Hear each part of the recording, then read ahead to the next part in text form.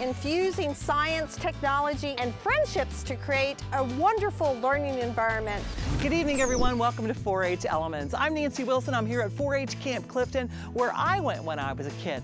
I had a lot of fun, and I made a lot of friends. OSU Extension celebrates 100 years this year. Its 4-H program continues to extend knowledge to help change young people's lives. The 4-H elements have remained constant, helping youth create the formula for their success. Let's see how camp is mixing science with fun to make a dynamite formula for discovery.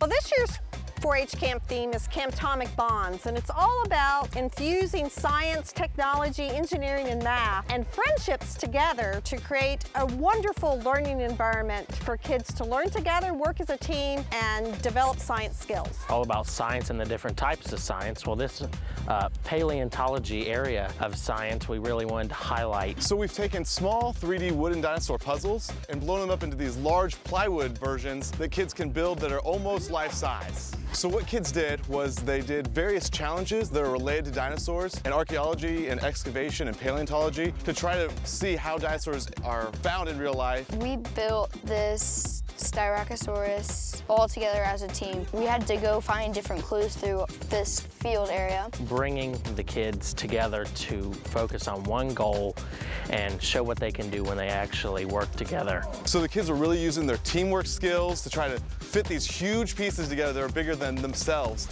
We were working on cooking over a fire, except instead of using your everyday camping tools that you would use if you went camping with your family, we decided we wanted to learn how to cook if we were in the wilderness and we didn't have those tools. I learned that there are a lot of different ways to cook food um, over fire and I thought it was very cool that we weren't just like wrapping them in foil, we were actually putting the different foods onto the fire itself. I didn't really know that we put like leaves over top of it. It was kind of weird. And then we put clay over it. I was kind of weirded out by the mud mixed in with the clay and thought that it would like give it flavor or something.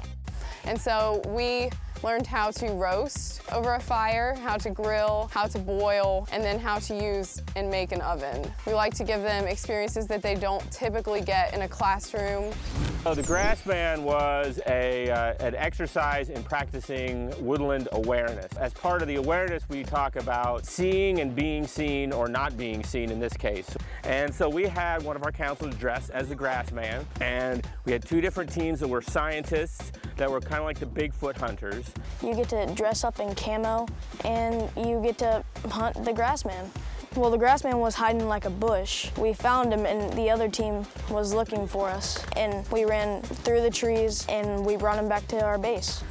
Well, with the rockets, they're learning about Newton's three laws, how air pressure and the velocity behind that air pressure is going to launch those rockets a distance. And uh, certainly the aerodynamics of their rockets is going to make a difference in how far those rockets go. Well, I learned how that kind of pressure can launch a rocket like this. The amount of pressure you put into it, the higher it might go. Because that's what science is all about. I mean, it's not about, like you do an experiment and it succeeds. It's all about like the scientific methods. You have to figure everything out. You test it. If it doesn't work, try again, rebuild the design. I like the fact that this camp opens up your mind to new ways and new ideas. Many of our kids don't spend a lot of time outdoors with technology and television. They spend a lot of time connected to electronics, and so being out in nature, away from a cell phone, gets them up close to an environment that uh, many kids wouldn't experience if they didn't come to camp. That's my favorite thing about camp, actually, is teaching kids when they don't even realize that they're learning, like teaching them leadership and teaching them teamwork through games that they don't really understand are learning experiences until they get older. Three essential elements to 4-H are hands-on learning experiences, leadership opportunities, and a caring adult mentor. We found that over 100 years this has been time-tested and true. We have great research from Tufts University and Positive Youth Development that backs up that these three key elements are what's going to make a difference in a child's life to make them a successful adult in the future. Three essential elements for 4-H is, is teamwork, uh, searching for knowledge, and taking that knowledge and becoming the responsible citizen scientist.